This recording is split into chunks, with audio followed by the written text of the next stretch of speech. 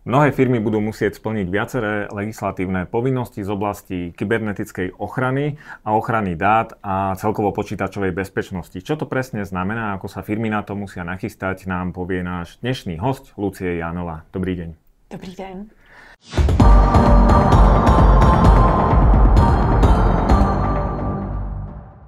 Pôsobili ste ako odborný konzultant, a ja to tu mám napísané, lebo to je, to je strašne dlhá funkcia, Ministerstva priemyslu a obchodu včera v oblasti riadenia rizik v rámci implementácie Národného plánu obnovy. Čo to presne znamená? Ono to zní hrozně komplikovaně, přitom je to strašně jednoduché. Vlastně jsem, nebo nastavuju rizika a oblasti rizik v rámci Národního plánu obnovy, což je vlastně dotační program, který má Evropská unie a tam vlastně pomáhám snižovat ta rizika, nastavovat tu metodiku a pomáhat ostatním ministerstvům, jak to správně uchopit. No, ale aby som eh, nepreskakoval, ešte som nepovedal, že vy ste vlastne zo spoločnosti Safer. A ano. túto spoločnosť mnohí ľudia poznajú pod eh, aplikáciou e-doklad. Ano. Ale okrem toho sa vaša firma zameriava práve na takéto konzultácie v oblasti bezpečnosti. A teraz sa hovorí o tom, že je nejaká nová smernica alebo nejaké nové nariadenie. Je to NIS 2, čo už celkom tak evokuje, že to už asi je druhá verzia.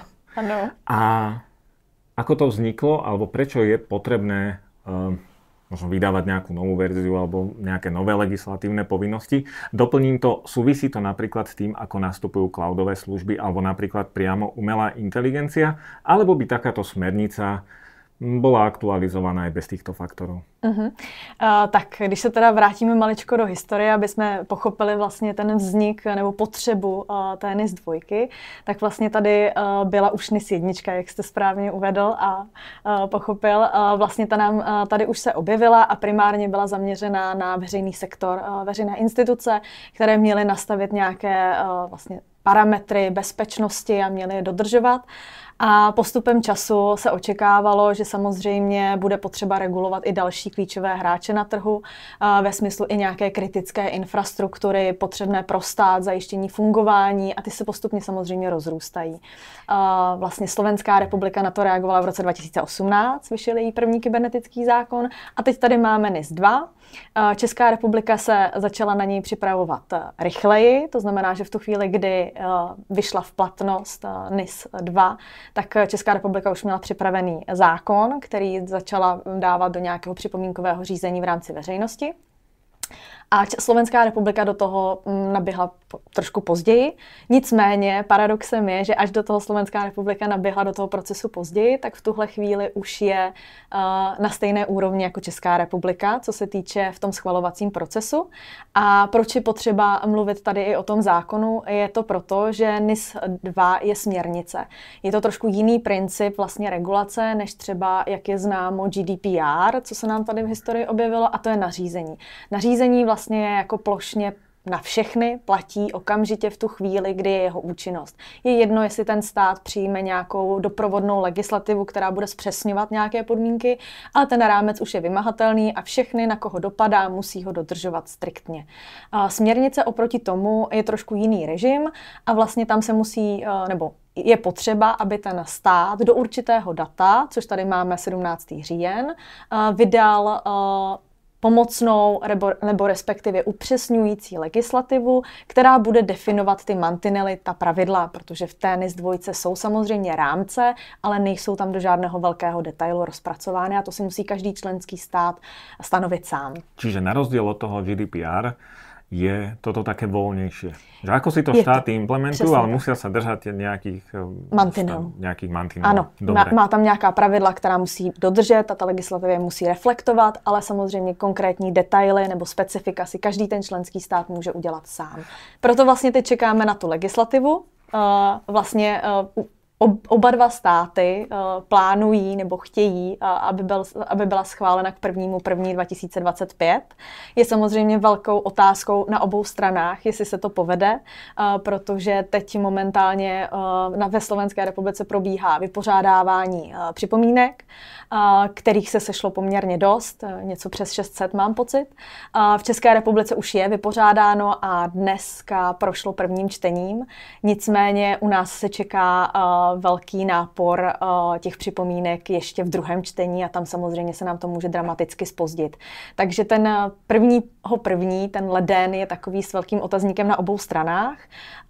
Možná to bude v prvním kvartále, možná to bude až v pololetí. Což samozřejmě znamená, že nedodržíme termín stanovený Evropskou unii, nicméně není to, jak bych tak řekla, úplně dramatické, protože žádný členský stát zatím nevypadá, že by splnil ten termín 17. října a všechny jsou, nebo některé z nich jsou ještě mnohem ve spožděnějším režimu, než je Slovensko nebo Česká republika. Dobre, čiže to je na úrovni štátov, ale, ale štáty sú firmy.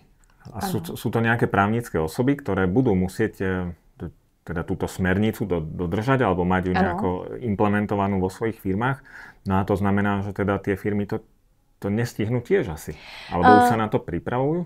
Některé firmy už se na to připravují, protože uh, návrhy těch zákonů uh, jsou vlastně k dispozici veřejně, uh, může se na ně kdokoliv podívat a, a nepředpokládá se, že co se týče těch povinností, tam bude dramatický rozdíl oproti případně nějakým připomínkám.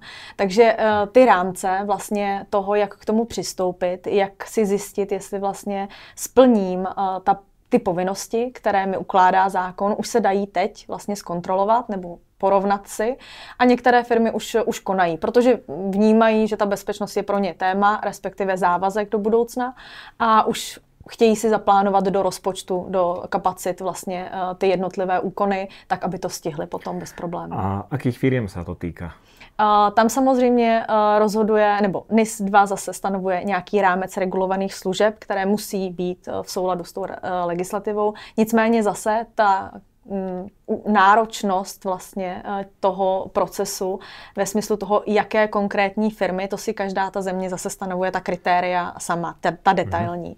Mhm. Většinou eh, je logické, že to bude rozhodovat velikost podniku, kdy samozřejmě jsou tam, eh, dá se to říct, že velký podnik spadne klasicky pod ta kritické základní služby u vás a střední podnik pod eh, základní služby. Eh, Dobre, ale aby sme, aby sme to povedali Určite. možno konkrétnejšie. Čiže sú tu nejaké štátne podniky, sú tu ano. Možno nejaké samozprávy alebo mm, orgány činné v mhm. trestnom konaní, potom sú tu že stredné podniky a veľké, to je, to je to, o čom hovoríte. No a keď má niekto firmu a teda možno, že podniká v oblasti IT bezpečnosti alebo prevádzkuje nejaké cloudové riešenia alebo možno má len nejaký účtovný software, podobne ako vy, alebo čokoľvek iné, uh-huh. tak znamená to, že automaticky sa ho to týka, alebo je to napríklad od nejakého obratu, myslím, že to bylo 10 milionů. Tam právě rozhoduje ta velikost toho podniku a ta uh-huh. velikost podniku je definována metodikou Evropské unie. Firmy, které třeba žádají o dotační tituly, to moc dobře znají, protože taky musí se určit na základě téhle metodiky, jak velký ten podnik je. Rozhoduje o tom buď počet zaměstnanců, anebo obrat roční vlastně v tu chvíli, kdy ten počet zaměstnanců je na 250, anebo roční obrat má více jak 50 milionů eur, tak v tu chvíli je to velký podnik, pokud splní alespoň jedno z tohoto kritéria. Dobré, ale toto sa týka podnikov, alebo teda firiem, ktoré sú ktoré nie sú ničím špecifické. Nie sú to teda samozprávy, mm-hmm. ale sú to možno keby to boli aj štyria ľudia, ano. ale proste zarobili ste, alebo mali ste teda obrad 10 miliónov, môžete podnikať v obuvníctve, ale bum, 10 miliónov, splnili ste jednu z tých podmienok, tak už musíte mať ako firma implementovanú tý, tú NIS 2, alebo sa na to pripraviť? Musí to být v rámci těch regulovaných služeb. To znamená, že musí to být třeba v oblasti, teď eh, řeknu, zdravotnictví, energetika a těch vyjmenovaných regulovaných služeb. Pokud se vlastně najde v těch regulovaných službách, měl by si zjistit, jaká velikost podniku to je a podle toho vlastně bude zařazen do té kategorie. Hmm, čiže nebude sa to týkať úplne každej Komplexně, firmy, jakoby, ale musí splniť každý... ešte teda aj, aj tu Přesně vlastnost tak. toho, Přesně že, kde je ta firma zaraděna. Je ta kombinace té regulované služby a velikosti vlastně toho podniku, která případně eh, definuje. V případě toho eh, samozřejmě ta firma by se měla posoudit v rámci všech regulovaných služeb, eh, nejen té své hlavní podnikatelské činnosti, takže pokud se třeba identifikuje v rámci vícero, může to být podnik, který podniká v různých spektrech odvětvích, tak vlastně může se stát, že v jednom tom odvětví nebo té regulované služby bude v rámci vyšších povinností a v něk které bude v rámci nižších povinností. Pak samozřejmě je to o tom, že vyšší bere, takže automaticky spadá do těch vyšších povinností, pokud se alespoň v jedné té regulované službě takto identifikuje. No a keď sa, keď sa na to z, z pohľadu možno firmy, tak sa jej tá firma môže predstaviť, že je to nejaká ďalšia legislatívna povinnosť. Už aj tak ich je uh, veľmi veľa, ale povedzme si, že je tu to odvetvie IT a naozaj tie útoky a hybridné hrozby sú, dá sa povedať, asi na každodennom poriadku. Chápu to firmy ako výhodu, možno aj v tom, že budú tu nejakí experti, ktorí im pomôžu chrániť no, svoje dáta a nakoniec dáta zákazníkov, nakoniec ešte aj svoju reputáciu. Alebo je to možno aj z vašich skúseností, že skôr to berú ako takú príťaž, možno sa toho trochu boja, ako je to? Je to tak 50 na 50. Eh, eh, vlastně některé ty firmy to opravdu bojí, berou jako příležitost eh, ve smyslu toho, že si udělají jakousi inventuru těch svých služeb nebo i těch svých technických zařízení a technologií, které zrovna mají. Některé firmy to opravdu berou spíše jako nutnost, povinnost, další administrativní zátěž, která jim nebude ku prospěchu věci. Dost k tomu i mm, pomáhá, pokud ten podnik byl vystaven nějakému kybernetickému incidentu, pak samozřejmě tomu dává mnohem větší váhu a přistupuje k tomu zodpovědněji, protože ta přímá zkušenost už s tím byla. Mm-hmm. A naopak ty firmy, které mají pocit, že jich se to úplně netýká, ať už z důvodu velikosti nebo typu podnikání nebo čehokoliv, tak vlastně tomu přikládají menší míru a spíše to chtějí mít eh, v úvozovkách jako splněno jen tak jako opticky, formálně, ne, že by do toho chtěli úplně eh, vstoupit eh, prakticky. No a v súvislosti s NIS 2 sú spomenuté aj, aj banky. Um, to je len iné odvetvie možno, alebo nejaká kategorizácia, ale prakticky mení sa niečo v NIS 2 tým, že toto je banka, možno, že toto je nejaký iný podnik, ktorý mm. už splnil nejakú tú no, možno podmienku, ale nie je to asi nejaká kritická infraštruktúra ako jadrové elektrárne alebo nejaká energetika. Ale o těch bankách se hovorí naozaj tak špecificky, že na toto se musí připravit. Mluví. Uh, ono je to takové zvláštní, protože bankovní sektor je taková specifická oblast, která je definovaná jak teda NIS 2, kterou tady řešíme, tak zároveň bylo vydáno nařízení Evropské unie DORA, které se vztahuje čistě k finančnímu sektoru vlastně a týká se kybernetické bezpečnosti jako takové. Jelikož je to nařízení, tak musí být respektováno a implementováno i hned po účinnosti. Není to o tom, že tam by tam byl pardon, ten odkladný účinek toho, že by se čekalo na jakoukoliv legislativu průvodní. Takže teď v tuhle chvíli banky musí řešit vlastně dvě regulace, které spolu úzce souvisí a každá klade trošku jiné požadavky, což je zvláštní schizofrení momentálně pro ně situace. Nicméně to nařízení DORA platí od 1.1.2025. To znamená, že to už máme za dveřmi a banky už, nebo tam je to celý bankovní sektor, investiční fondy, pojišťovny, všechno, tam se to netýká jenom vyloženě bank, tak ty už se musí intenzivně vlastně jako připravovat a implementovat ta opatření kybernetické bezpečnosti. A NIS 2 by měla být taková lehčí nadstavba, protože ten základ už by měli mít z té dory. Mm-hmm. No a v souvislosti s touto smernicou sa hovorí ešte, existuje taký pojem, že dodávateľský reťazec. Ano. A to je to je podľa mňa niečo, čo môže možno, že nie, že vystrašiť, ale že to, to už je také, že nemám na niektoré veci dosah. Že je nejaká firma, ktorá sa zaoberá možno, že nejakým, nejakou výpočtovou technikou, mm-hmm. alebo skrátka, aby bola naozaj v tom segmente. No a teraz odoberá nejaké komponenty, možno, že si proste potom niečo skladajú, alebo proste vyvíjajú nejaký software, ale odoberá niečo od inej firmy. A to znamená, že tá firma teraz bude musieť požadovať nejaký dôkaz, že aj, teda, aj, aj tá v tom dodávateľskom reťazci je tam zapojená, alebo ako toto prebieha? Je to tak, že i v rámci, pokud ta firma si v vozovkách oddychne, že nespadne vlastně pod tu regulaci, tou identifikací té regulované služby a velikosti, tak může se stát, že v rámci dodavatelsko-odběratelských vztahů na ní budou vzneseny nějaké požadavky od jejich odběratelů. V tu chvíli samozřejmě, kdy je to ten přísnější režim, tak samozřejmě ty ty dodavatelé těchto firm eh, budou muset splňovat nějaká bezpečnostní kritéria a vlastně v rámci smluvních vztahů by tato kritéria měla být vydefinovaná, tyto podmínky, které jsou vzneseny právě na ty dodavatele. Eh, je to o tom, že by přesně měly být eh, případně incidentu i hned hlášeny vlastně tomu odběrateli, aby on věděl, jestli může být taky napaden, třeba a přijmout nějaká opatření, nebo to může být i forma auditu, že ten odběratel bude chtít dodavateli, jít se podívat na audit, že všechny ty bezpečnostní prvky, tak jak si odsouhlasili a tak jak jsou smluvně zavázány, takže dodržuje a jsou opravdu tak jako prakticky vymáhány. Dodržování bezpečnostních politik, které můžou být stanoveny tím odběratelem, nebo naopak bude schvalovat je dodavateli, že jsou dostačující vlastně ty parametry a podobně. Takže tyhle ty kritéria vlastně budou nastavena v rámci smluvního vztahu a budou muset být požadována. Čiže je to, je to obojsmerné ano, v tomto, hej? přesně tak.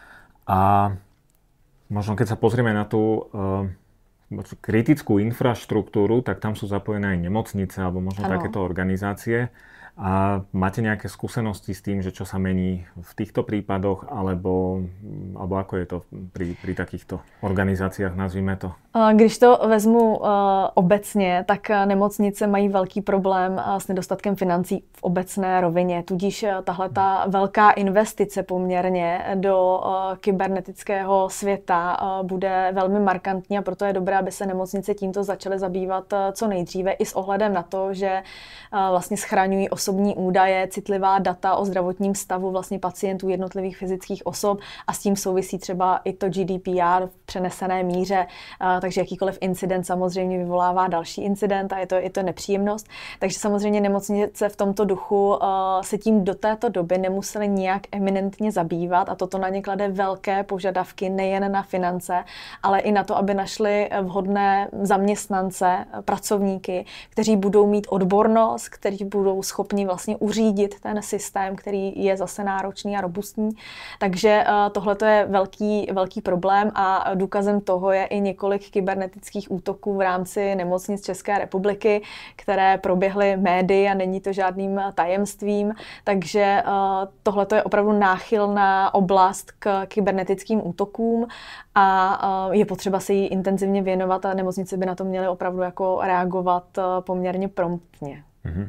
No ako na to môžu reagovať? Alebo ako na to môžu reagovať firmy, ktoré Uh, pravdepodobne tie veľké firmy majú nejaké oddelenia, ktoré sa zaoberajú mm, bezpečnosťou, takže zhruba tušia, že niečo ako NIS-2 existuje. Ale potom sú menšie firmy, ktoré naozaj starajú sa o svoj biznis, vedia, že musia mať nejaké GDPR, vedia, že musia mať možno nejakú systémovú politiku. Uh, poviem to úplne priamo, Safer je firma, ktorá dokáže uh, robiť konzultácie mm-hmm. a pomôcť týmto firmám ako to teda je, že teda keď je nejaká firma musí zamestnať nejakého človeka, alebo si povie, že toto budeme outsourcovať, my sa ďalej budeme venovať svojim mm-hmm. veciam a keď sa niečo stane, tak budú volať no, nejakej osobe od vás napríklad. Uh, tak v první krok, který bych doporučila jakékoliv firmě, která o tom uvažuje nebo zvažuje, uh, tak je dobré uh, udělat si analýzu stavu, takovou gap analýzu, kdy si zhodnotím, na jaké úrovni tu bezpečnost mám z pohledu té regulace, která je momentálně k dispozici. Tam vlastně identifikuju svoje slabá místa, to znamená, čemu bych se měla věnovat, co mi třeba chybí, abych dosáhla toho souladu a na základě toho si stanovit priority, to znamená, ať už finan- z pohledu financí nebo kapacitních a začít začít zvažovat, co jsem schopná si pokrýt interně a co, jsem, co nejsem schopná, ať už z odborných důvodů, časových, jakýchkoliv, si nejsem schopná pokrýt vlastně interně, tudíž musím využít nějakého konzultanta nebo nějakou expertní firmu, která mi to dodá nebo no, zajistí. Dobre, ale, ale to, je, to je už taká oblasť, kedy, že, že niekto sa do toho musí tak trochu vyznať. A keď, keď ja neviem, že či som schopný si niektoré rizika pokryť, alebo čo vlastne uh-huh. všetko budem potrebovať, tak je možné mať takúto konzultáciu od, od úplného začiatku, že niekto naozaj príde a zistí, že Aha, tak nie, tak odteraz už na počítačoch budete musieť mať hesla. Nie, nie jeden počítač, každý máte svoje konto, že, že naozaj dá sa to takto, že tak povediac od Adama, že niekto naozaj príde a dá nám tú firmu do poriadku, tak aby to bolo NIS 2 kompatible. Určite. Určitě. Vlastně na, nebo i na tu analýzu, což pokud ta firma vůbec tápe a neví, tak je dobré si najmout právě nějakého konzultanta, který udělá to srovnání formou rozhovoru s IT útvarem, s provozním útvarem, s HR, aby zjistili, jak vlastně ta firma funguje a jaká ta opatření případně splňují a do jaké míry. Dost často se na trhu objevují varianty toho, že některé firmy nabízejí krabicové řešení. Tady máte dokumentaci, vlastně jenom si změníte hlavičku firmy a máte vyřešení vyřešeno, nebo se objevují uh, vlastně, že nějaké, nějaká technologie, která jim vyřeší NIS 2, prostě tady máte mm-hmm. technologii, kupte si ji, samozřejmě za patřičný obnos a máte vyřešeno. Uh, nic takového v praxi nefunguje. Uh, myslím si, že jsme si zrovna třeba tu dokumentaci uh, zjistili to na GDPR, ale vlastně uh, myslím si, že v obecné rovině se dá říct, že tohle to prostě nefunguje a je důležité si říct i, že není občas, samozřejmě pokud ta firma začíná na zelené louce, to znamená, že nemá nic, tak vždycky je potřeba nějaké investice, ale pokud ta firma má nějaké základní bezpečnostní prvky a dost často jsme i překvapeni, na jaké úrovni uh, třeba tu bezpečnost některé firmy mají, tak je třeba je to jenom o tom podívat se, jaké technologie využívají a jenom je uh, konfigurovat jinak. Nebo třeba i dokoupit nějaký modul systému, který napomůže doplnění toho souladu a není nutné nakupovat hned nějakou novou drahou technologii, která vypadá hezky, ale vlastně je zatěžující pro IT, protože se jí nemá kdo věnovat a zároveň uh, tím pádem uh, je to taková ta zmařená investice, která je nevyužívaná následně. No a spomenuli jste to nějaké škatulové řešení alebo možno něco hotové. Ano. Nie je to aj teraz také riziko?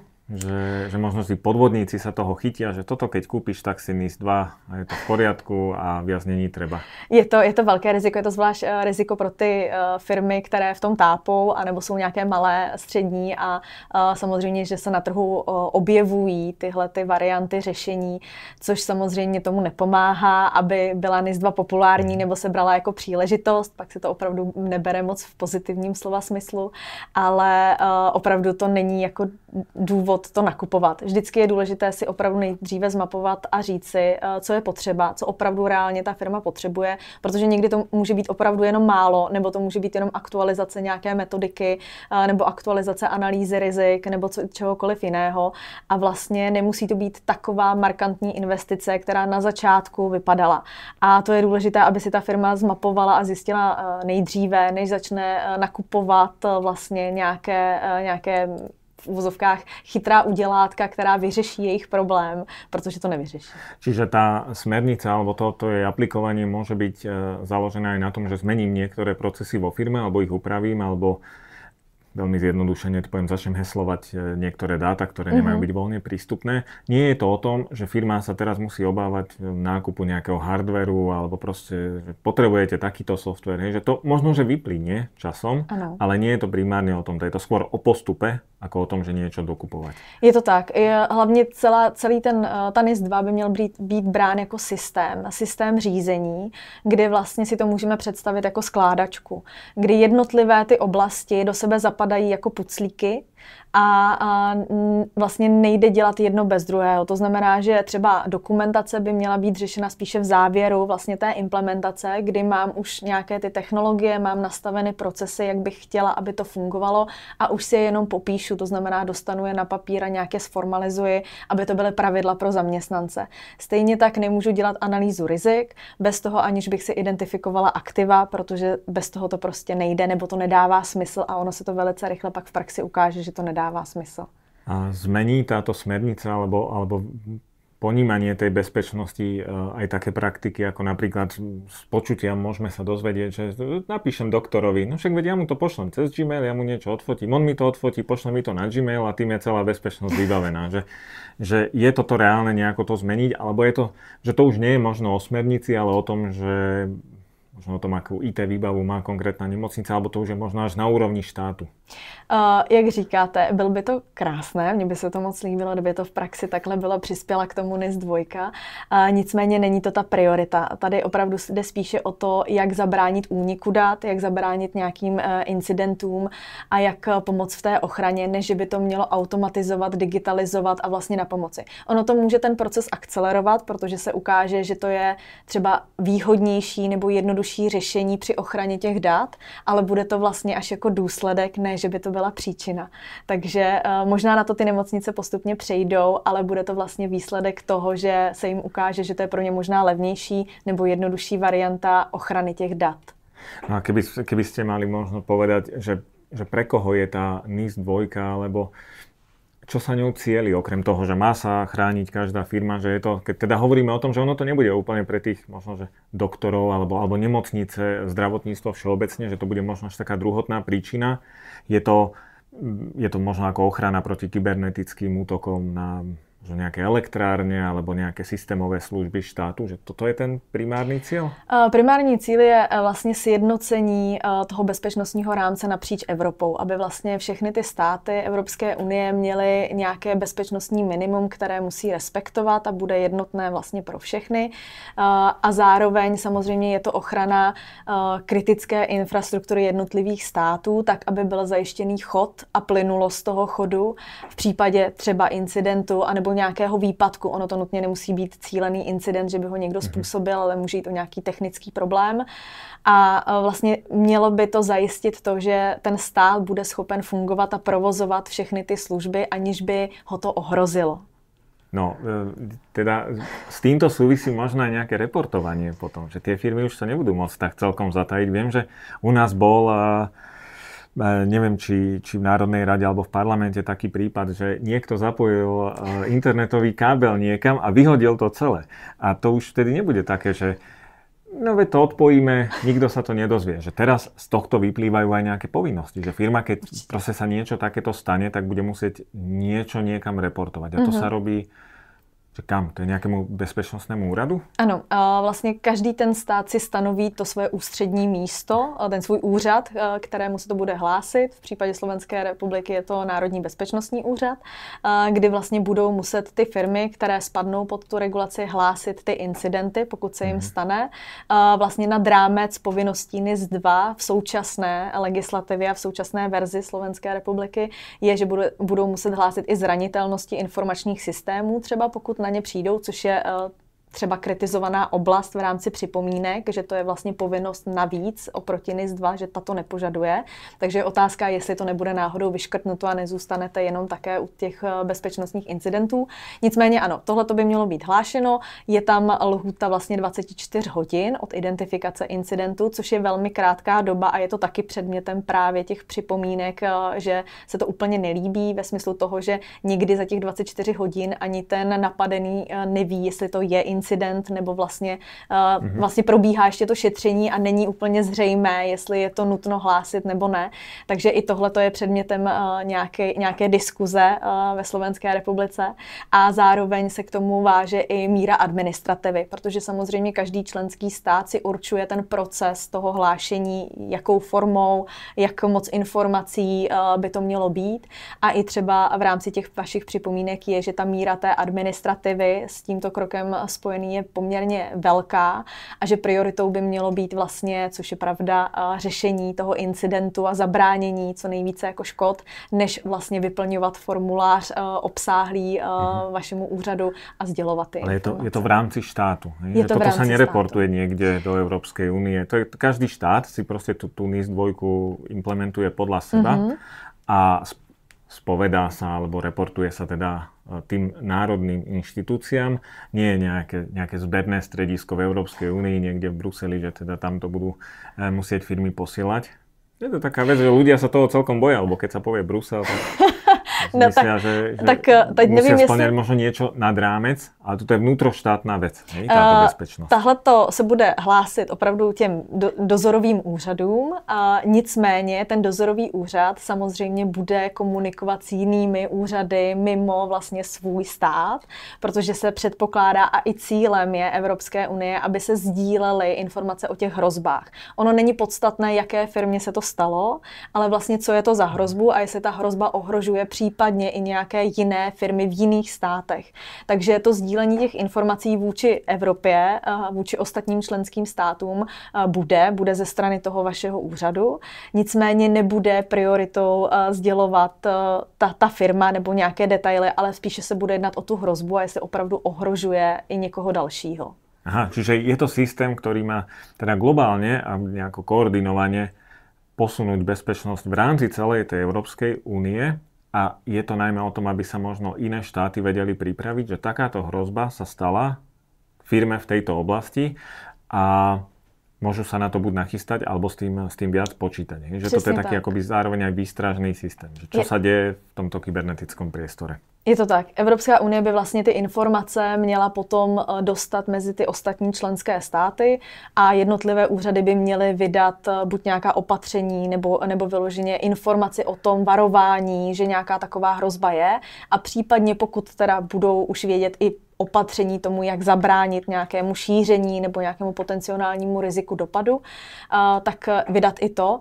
Nicméně potom ty firmy vlastně co budou v tom systému, v té regulaci, tak tu informaci dostanou a měly by podle toho vlastně konat nebo zapracovat vlastně to, to potenciální riziko v rámci svých systémů, pokud samozřejmě jim disponují nebo je ohrožuje. Čiže je to výhoda dá sa povedať, že to je jednoznačne výhoda pre tie firmy, že sa niečo takéto reportuje, pretože tie ostatné sa z toho môžu poučiť a možno, že aj to prostredie sa trošku stransparentní. Veď aj dnes e, firmy reportujú chyby, ktoré možno vo svojich systémoch obsahovali, alebo teda opravili tie, ktoré tam boli. Že, že to nie je nejaká utajená činnosť, ale malo by to byť také transparentné, aby všetci vedeli kooperovať. Ano, ale není smyslem hledat e, vlastně... E, toho vyniká, toho ale vyníka, poučit sa z toho. Ale opravdu to je to uh-huh. o tom sdílení těch informací a poučení se. Dobre, keď teda budú uh, firmy chcieť možno možno to nemusia byť úplne tie najväčšie firmy, ale budú chcieť tie menšie firmy implementovať tú NIS 2, alebo si povedia, že my tu máme nejaké NIS, pretože však teda už je to druhá verzia, pripravuje sa to, ale nie sme si celkom istí, tak vtedy sa môžu obrátiť na vás. Sú tam nejaké postupy, že bude mm-hmm. to mhm. trvať teraz mesiac, alebo to už sa nestihne do nového roka, alebo ako to funguje?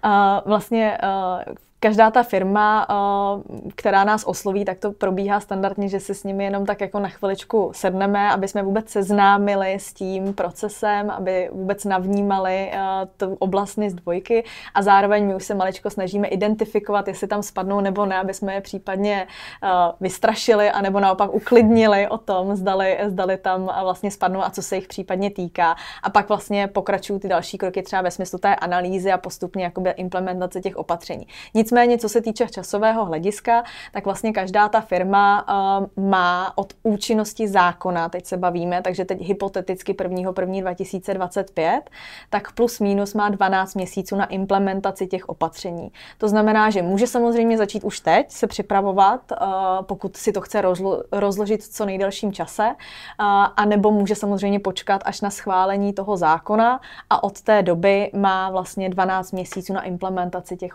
opatření opatrení. Dobre, čiže e, netreba panikáriť, dá sa povedať, že je na to dostatok času, ale keď si povieme dostatok času, čo to znamená? Dá sa to stihnúť za mesiac, alebo je, je na to možno, že nejaké polročné obdobie? Alebo to závisí samozřejmě od velkosti firmy? Jako je to v tomto případě? Uh, hodně to závisí od uh, úrovně té bezpečnosti, kterou má vlastně teď ta firma. Pokud třeba bych to vztahla, protože to jednu dobu bylo velmi populární a spousta firm to zaváděla ISO 27001, což je vlastně norma uh-huh. na bezpečnost, tak pokud bych to vztahla k ní, tak vlastně uh, pokud to není jenom formálně nastavená norma, ve smyslu toho, že mám nějakou dokumentaci, kterou mám v šuplíku, ale moc se s ní nezabývám, maximálně jednou ročně, když mi přijde auditor, aby znovu obnovil certifikát, tak eh, v tu chvíli, pokud ta firma se opravdu tím eh, zabývá nebo implementuje ten systém, eh, tak má skvělou výchozí pozici na to, aby poměrně rychle jenom akcelerovala některé ty kroky a ty oblasti, které nejsou tak pokryté a jenom si dopředu upřesnila ty věci a vlastně uh, splnila ty náležitosti té NIS dvojky. Pokud samozřejmě, takže ta, těch 12 měsíců má úplně bez problémů a vlastně má dost času na to se zorientovat, udělat si ten, ten rozdíl vlastně v těch procesech a postupně implementovat ty jednotlivé kroky.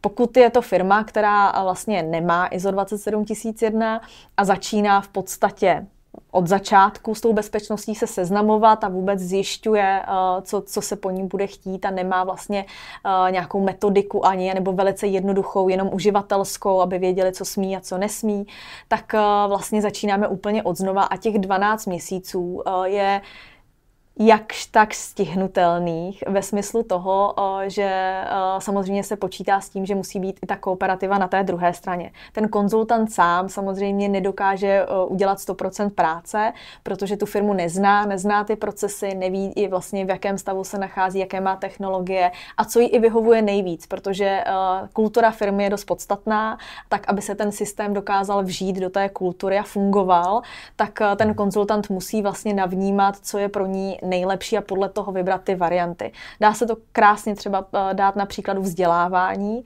Některá firma preferuje prezenční vzdělávání jednou ročně, že prostě zaměstnance nažene do zasedačky a tam vlastně je nějaká přednáška. Některým nevadí e-learning, kdy vlastně nemusí moc to zavnímávat a chodí to automatizovaně a, uživatelé prostě musí odklikat něco a splnit test a je to taky v pořádku. A někteří volí kombinovanou formu, někteří volí uh, nějaký webový webový vlastně jenom portál, kdy tam je třeba nahraná ta přednáška a někdo si ji může poslechnout, kdykoliv se mu zlíbí. Takže těch variant a kombinací je po různu. A každá ta firma má v té kultuře zažito nebo je zvyklá prostě na něco a není dobré to úplně narušovat, protože samozřejmě eh, to potom zase není přijímáno ze strany těch uživatelů příliš pozitivně a bez těch uživatelů to nejde, protože to je jedno z největších bezpečnostních rizik, které potřebujete a zároveň je to, já tomu říkám, nejlevnější detekční nástroj pro nestandardní situace a chcete ho mít eh, vychovaného a chcete ho mít na své straně, takže je potřeba s ním pracovat. Čiže eh, vzdělávání svojich zamestnancov asi netreba podceňovať a tá konzultácia súvisí aj s takými praktikami sociálneho inžinierstva. Zrejme, že aj toto sú v NIS dvojke, alebo možno nejaké odporúčania, alebo celkovo odporúčania tej bezpečnosti, že ak má niekto kartičku, tak možno do nejakých sektorov nepúšťa ešte ďalšie osoby, že ja to, ja to raz tam ťuknem a všetci prejdeme na, na jednu kartu. Ano, je to, je to, jak říkáte. A vlastně to sociální inženýrství je hrozně hezká kategorie sama o sobě, kdy už se rozmáhá nejen phishingové kampaně testovací na uživatele, aby si vyzkoušeli mhm. různé scénáře a je to poměrně účinný nástroj, když se pak zveřejní vlastně samozřejmě anonymizovaně eh, ta finální zpětná vazba, jak to dopadlo a jak si, jak si vlastně třeba i jednotlivé útvary, nemusí to nutně být vstaženo na celou organizaci, vlastně stojí.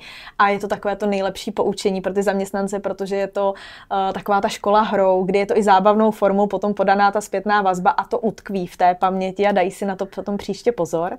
Tak se nám vlastně objevují už i nové vlastně ty scénáře nejen na tu phishingovou kampaň, ale může to být třeba i rozházení uh, flešek, USB disků vlastně různě po firmě a zkoušení toho, jestli někdo otevře uh, vlastně ten daný soubor, bude zjišťovat, co to je, nebo si jenom odnese domů prostě, protože má, našel flešku a je to bezva, protože mám zadarmo flešku.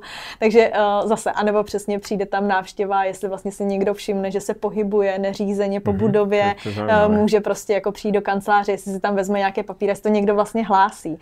Takže i tyhle ty vlastně praktiky různě uh, už se docela rozmáhají a je to velmi jako zábavné potom eh, sledovat, jak někteří ty zaměstnanci reagují.